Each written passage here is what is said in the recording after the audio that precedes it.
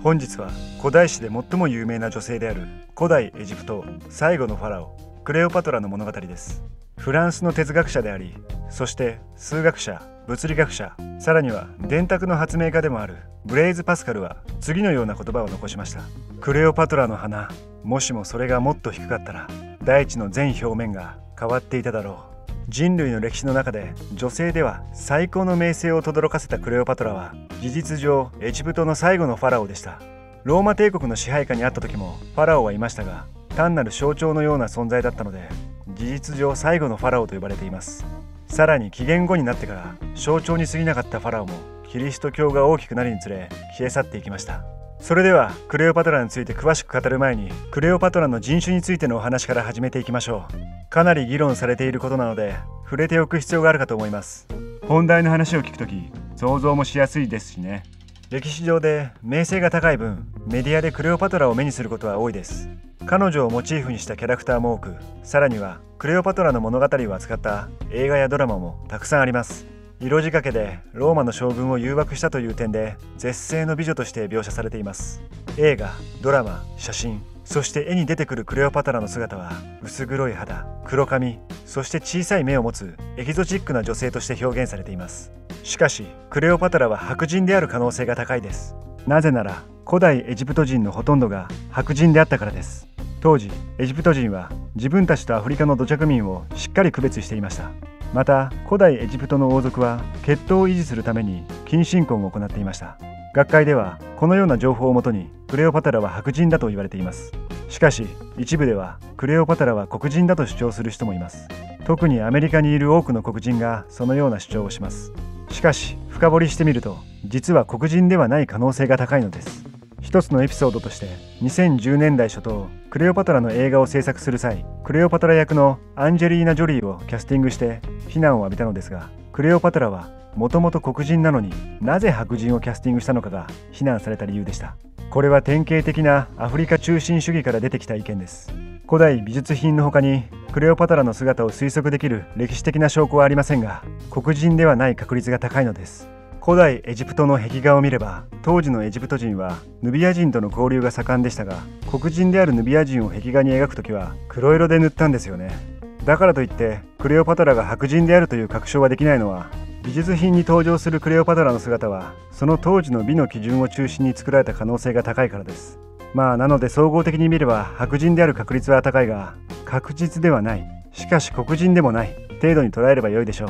人種についてのお話はこのくらいにしておいてクレオパトラの物語を本格的に始めていきましょう。まず当時の古代エジプトが置かれていた状況について見てみます。クレオパトラが即位する前古代エジプトは滅亡への道を進んでいました。プトレマイオス3世の時まではエジプト王朝の最盛期でした。内政や外部勢力と行った戦争の全てで高い評価をたくさん受けています。彼の時代にバビロンまで進出したのを見れば当時古代エジプトは強い軍事力と影響力を持ちあちらこちらに進出したことが伺えます。しかしプトレマイオス4世が王になってからエジプトは滅びへの道を歩み始めました。一番問題になったのは内政です。支配階級の不正や腐敗により非支配階級の反乱まで起こったのです。そういった混乱の状況の中でプトレマイオス4世は急逝してしまいます。王が突然亡くなったので子供のプトレマイオス5世が若くして王座につきました。すでに何人かの方々は察しがついたでしょう。東洋西洋を問わず若き王が即位した時その結末のほとんどは悪いものでした。エジプトも例外ではありません。プトレマイオス5世が若くして即位したため一人では政治を行えず政情がもっと悪化していきます。エジプト内部が弱まれば当然他国が目をつけ始めます。以前の借りもありますからね。エジプト周辺の王朝は虎視眈々とエジプトの土地を狙い始めました。危機を回避するには力不足だったエジプトは結局ローマを巻き込み少しずつローマ帝国の手の内に入りました。その後はうーん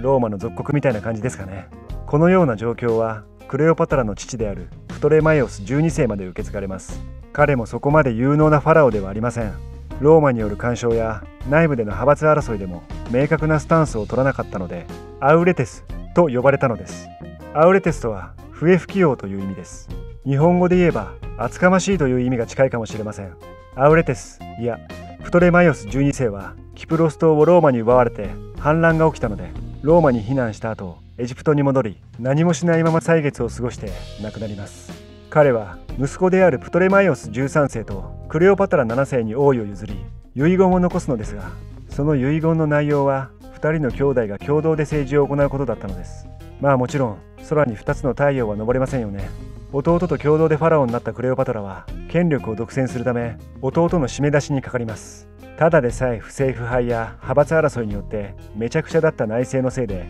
腹が立っていた国民はクレオパトラの行動に大反発しました。私が国民だったとしても腹が立っていたでしょう。権力闘争に負けたクレオパトラは結局地方へ追い出されてしまいます。クレオパトラが再び王座に就いたのはカエサルとの運命的な出会いをした後でした。その時期にクレオパトラの弟であるプトレマイオス13世はローマの内部で起きていた混乱を避けエジプトに逃げてきたローマの元執政官であったポンペイウスを暗殺したのですがカエサルはプトレマイオス13世がポンペイウスを暗殺したことは卑怯であると軍隊を率いてエジプトの首都を占領してしまいます。クレオパトラはこれってうまくいけば私が権力を握る最後のチャンスなのではと考えカエサルに近寄り彼を誘惑します。ここで絨毯の話が出てきます。カエサルが絨毯に包まれた贈り物を開けてみると絨毯の中に服を着ていないクレオパトラがいた。よく見ると贈り物は絨毯ではなくクレオパトラだった。という物語なんですけどまあただ本当かどうかは分かりません。さらに実際のところカエサルはクレオパトラに惚れていなかったという話もあります。あくまで政治的な利益を目的として彼女と付き合ったということです。後に完全に自分の全てを投げ捨てたアントニウスに比べればカエサルは一線を越えずにクレオパトラと接しました。しかしエジプトの市民やローマによる反発があってもクレオパトラを支えようとしたのを見れば必ずしもそうとは限りませんよね。カエサルはプトレマイオス12世の遺言に従うという名目でクレオパトラを再びファラオの座につかせました。このようなカエサルの行動にプトレマイオス13世は当然怒ります。結局2万人の兵士と72隻の船を率いてカエサルを攻撃します。その当時カエサルは少数の兵力のみを統率していた頃なので4ヶ月の間かなり苦戦しました。それでもローマからの支援を得てカエサルはプトレマイオス13世を制圧して戦争は終わります。そしてプトレマイオス13世はナイル川で溺死するのです。クレオパトラは弟が死んだ後すぐに末っ子と再婚します。10歳にも満たない弟にプトレマイオス14世という称号を授け自分が権力を全て手にすることになるのです。カエサルとクレオパトラは恋に落ちます。この2人の間に生まれた子供が後にプトレマイオス15世になるカエサリオンです。カエサルは殺害される前までエジプトで子供と一緒に余生を過ごしました。そんな中カエサルは元老院派によって暗殺されます。カエサルが死んでクレオパトラは脅威を感じたのかまたは権力を持ち続けようとしたのかは分かりませんが弟のプトレマイオス14世を殺して息子のカエサリオンを王位につかせます。権力を手にしたクレオパトラはエジプトの女神イシスと自分を同一視し王政を続けます。ちなみに当時のファラオの呼び方は男女によって分かれていたんですよね。男性はプトレマイオス女性は複数の呼び方がありましたが代表的なものはクレオパトラでした。誰が誰なのか区別がつかないので人々は当時ファラオの称号の後ろに別名をつけて呼んでいました。クレオパトラ7世の別名はテア・ネオテラです。新しい女神という意味でありまた新しいイシスという意味もあります。別名だけを見てもクレオパトラ7世が自分を女神と同一視しようと必死だったことがうかがえます。絶対的な権力を握ったクレオパトラは怖いもの知らずのように見えましたが常に危機は襲ってくるものです。なんとナイル川ですごい氾濫が発生してしまったのです。災害によって農作物が深刻な被害に遭います。飢餓も起こりました。さらに援軍を失ったエジプトに対するローマからの干渉は日に日に深刻になりました。しかしここで終わればクレオパトラがこんなにも歴史に名を残せなかったでしょう。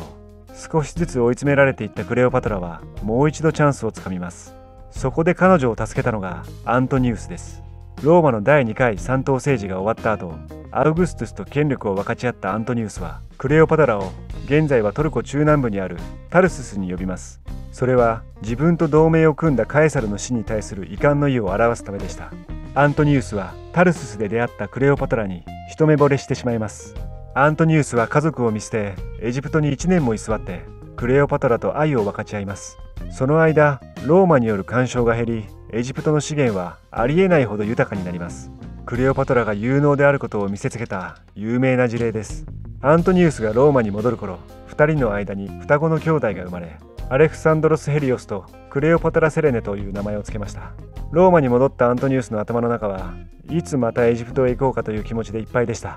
そんな中妻が病気で命を落としアウグストゥスはアントニウスに妹のオクタビアと結婚するよう提案します。自分の妹と結婚することはアントニウスの忠誠心を図る意味でもありました。アントニウスはそれを断るのは難しく命令のような提案に従ってオクタビアと結婚します。しかし2人はすでに恨み合っていました。結婚した後アントニウスは長い間計画したパルティア遠征のためエジプトに再び訪れます。先ほど述べたようにエジプトは豊かな資源を持っていました。アントニウスは遠征に必要な資金を得るためエジプトを訪問したのです。もちろんクレオパトラとも会わなければなりません。再び訪問したエジプトでアントニウスはクレオパトラと結婚します。つまり不倫をしたのです。そうしてパルティア遠征に行ったのですが負けてしまいます。アントニウスはオクタビアと離婚してエジプトへ行ってしまいます。エジプトでアントニウスはクレオパトラに惚れ込んでいました。クレオパトラが遠征に必要な資金を支援してくれたお礼にカエサリオンをカエサルの正式な後継者として指名してクレオパトラと子供たちにローマの土地を与えようとします。クレオパトラの3人の息子がローマを統治しようとしたのです。この事件をアレクサンドリアの寄贈と呼びます。しかしどう見ても遠征に失敗した立場で調子に乗りすぎているように見えませんか？アレクサンドリアの寄贈によってアウグストゥスとアントニウスの関係はめちゃくちゃに壊れてしまいます。アウグストゥスはローマ帝国を裏切り自身を侮辱したアントニウスを許せませんでした。結局アントニウスの座を奪いクレオパトラに宣戦布告します。その後はとてもあっけなく終わります。アクティウムの海戦で惨敗したアントニウスとクレオパトラは脱出する途中で死んでしまいます。決定的な死の原因は未だに明かされていないのですが毒蛇を使って自らの命を落としたという説が最も有力です。やはり毒蛇がその時代の王族の象徴でもあるため出てきたのだと思います。美貌だけではなく能力も優れていたクレオパトラでしたが滅亡に向かっていたエジプトを救うことはできませんでした。それでもクレオパトラが統治していた時期にエジプトは豊かではあったんですけどね。ここに来て最初に紹介したブレイズ・パスカルの言葉の意味がわかる気がします。クレオパトラの花もしもそれがもっと低かったら大地の全表面が変わっていただろう。エジプト最後のファラオであり男を通してローマを揺るがした魔性の女クレオパトラ。今回はここまでです。